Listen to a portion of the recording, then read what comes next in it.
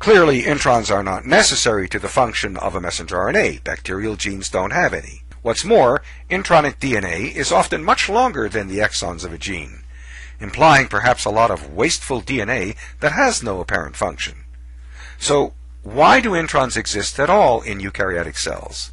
Or why, if they were present in the first cells, were they retained by eukaryotes and lost in prokaryotes?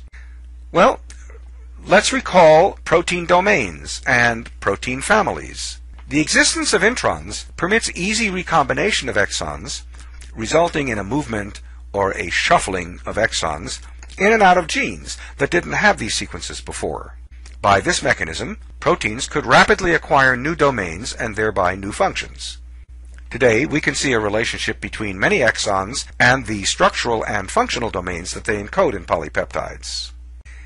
Here is a generic example of exon recombination or exon shuffling initiated by unequal crossing over between two different genes.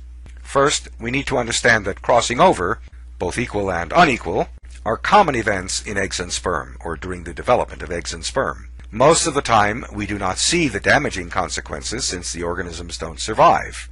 But recombination within introns increases the probability of survival of unequal recombinant organisms. After unequal crossing over, exon C in this example is now part of a gene that previously only had two exons, A and B.